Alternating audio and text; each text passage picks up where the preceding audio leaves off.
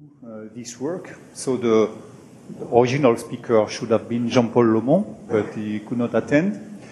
So I'm trying to present uh, this work that is done in uh, my research team, GEPETTO, in Toulouse, France. And so in this talk, we are going to talk about uh, dancing and uh, poetic motions, two kind of collaborations that we had with artists.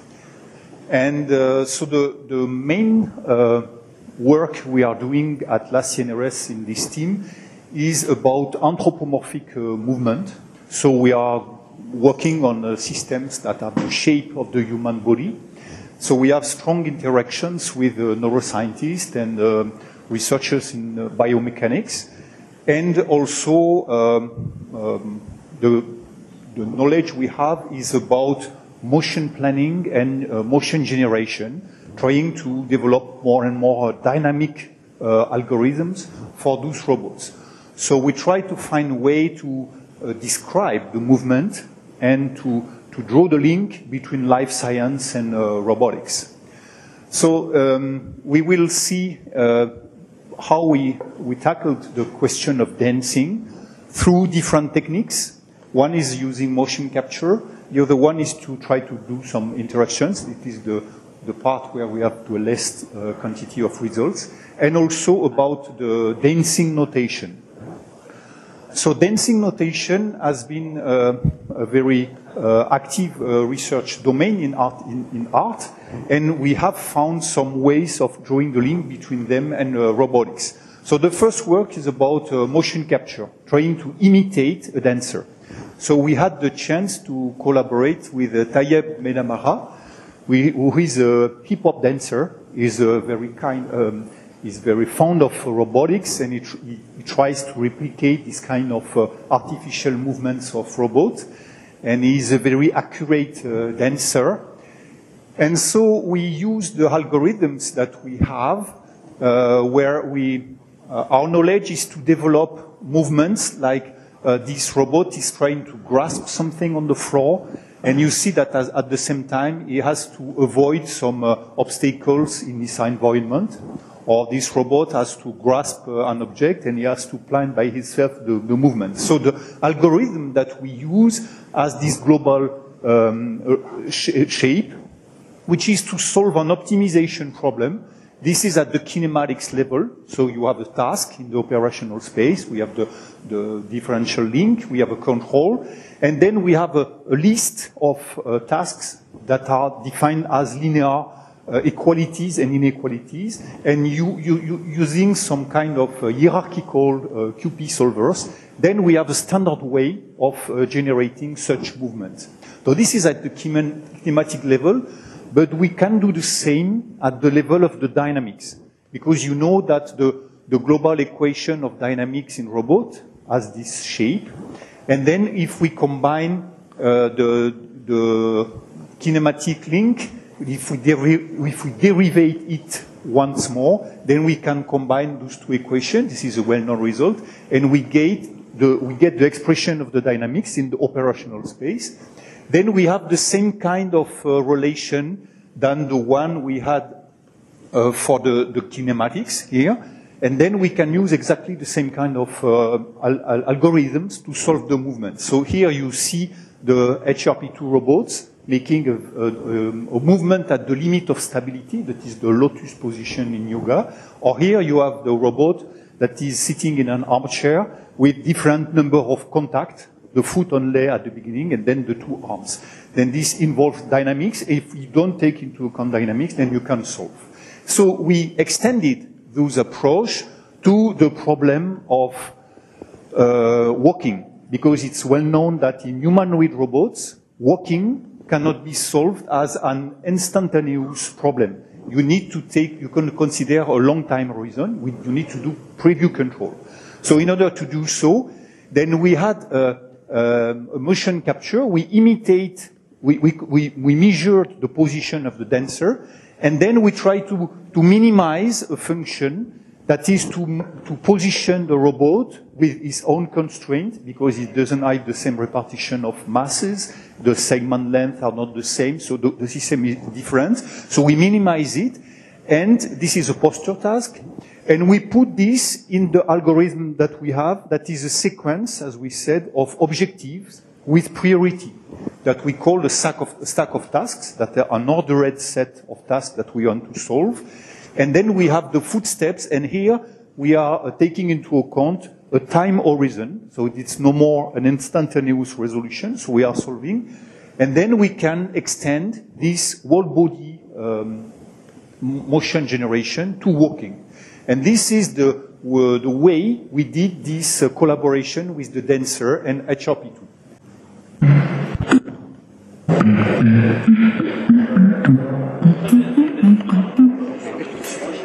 So this is the show we made in Toulouse, uh, in front of uh, 3,000 persons.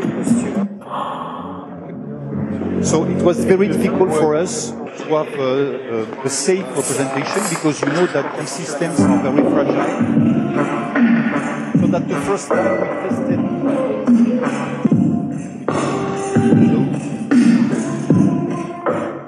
That's fine. Okay, so um, the difficulty was to be able to make the robot walk uh, stably on the floor because we didn't know exactly the floor, but we wanted not to have the, the crane, the safety crane upon the robot. So we had uh, one uh, researcher just behind the robot ready to jump catch it, but uh, is in the dark. So this is the long. Uh, we are we had two days only. We, we were able to walk the real room with the dancer, and it was very exciting to have this uh, engineering team usually to work in a lab, closed lab, and the, the world of artists. It is a very nice meeting we had during two days, sharing and discussing with each other. So, as you can see, the, the dancer has a, a memory of the complete movement, and the robot is uh, cycling the movement, so he's replicating something that he has, has learned before.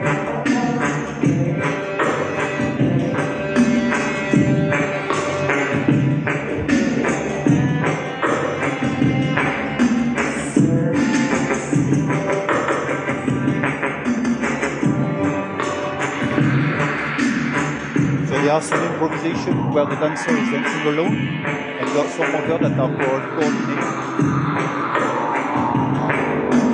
There is uh, Olivier Stasse, who's just behind the robot,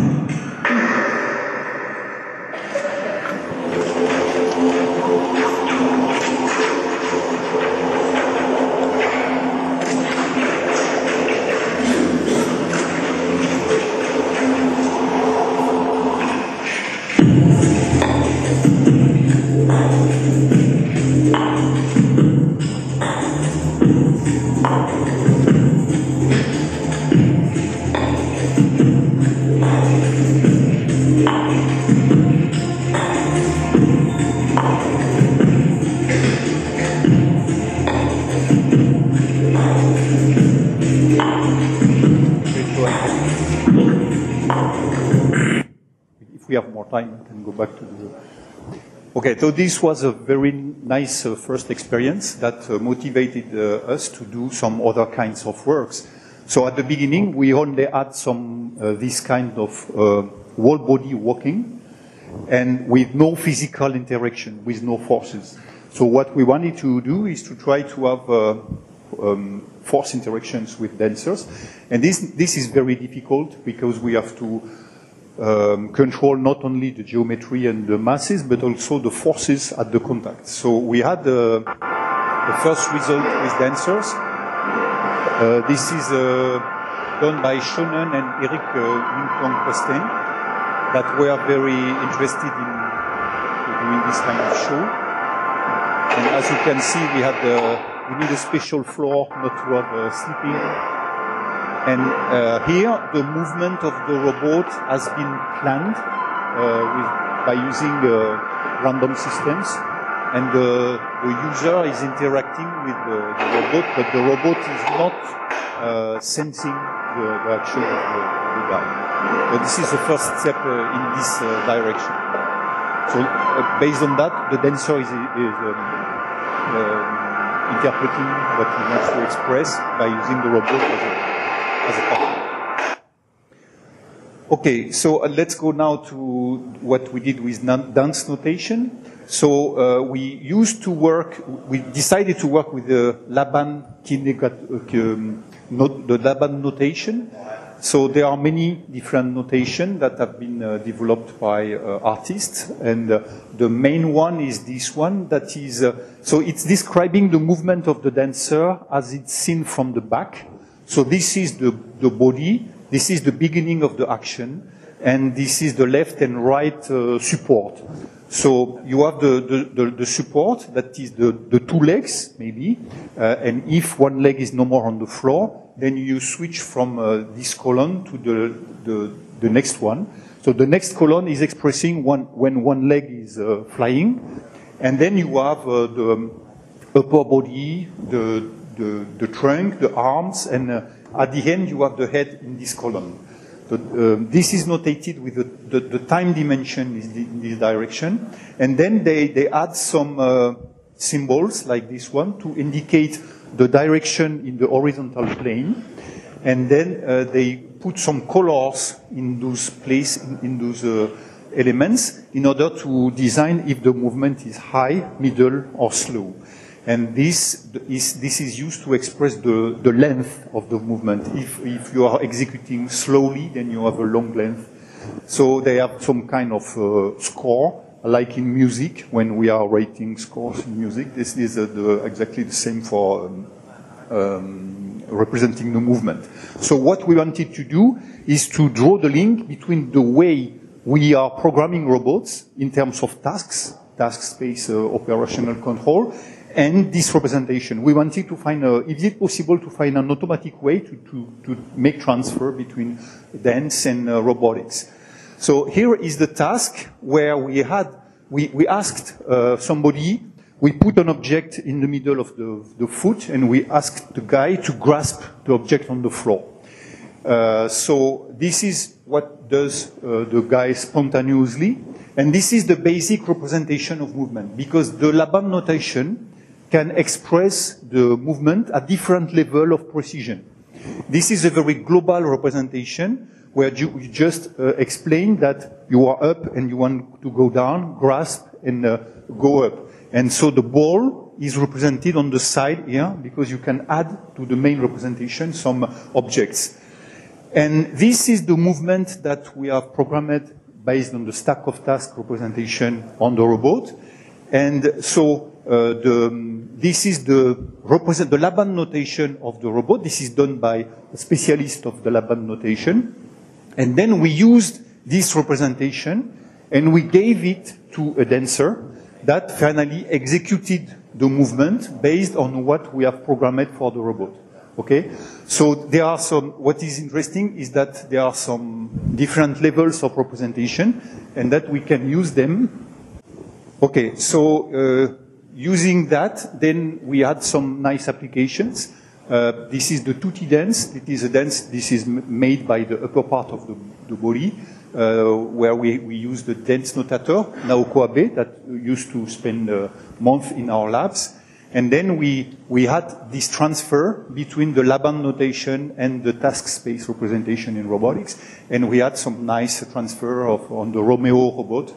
That is a very nice robot, but that is not very well actuated on the lower part, so we only made some applications on the upper part. Okay, so this was another part of exchanges that we have with artists. And the second part of my talk is about uh, some poetic motions we had with uh, uh, Celeste Boursier-Mougenot, which is a very well-known artist, contemporary artist. And um, a first contribution was to revisit the mover piano problem uh, so the idea was to uh, make piano move, by themselves by uh, using some robotics applications. So you have here um, the, it was in the Musée, Musée des Abattoirs in Toulouse.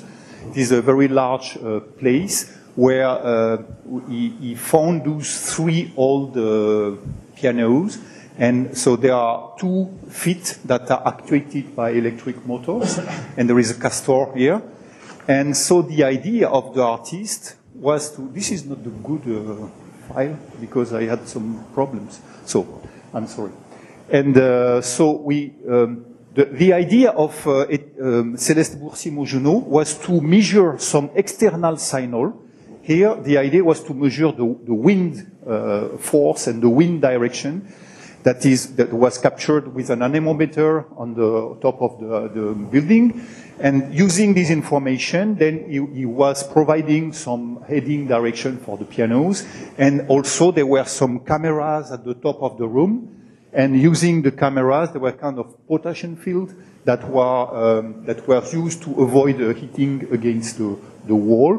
But the pianos are uh, hitting with each other uh, with a strange of uh, bang in the room with a strange of uh, noise, and uh, so the, um, the, atmosphere was very strange. And as the piano were moving slowly, then the, it was safe. And so for many years, many, many days, the, the representation was done uh, safely.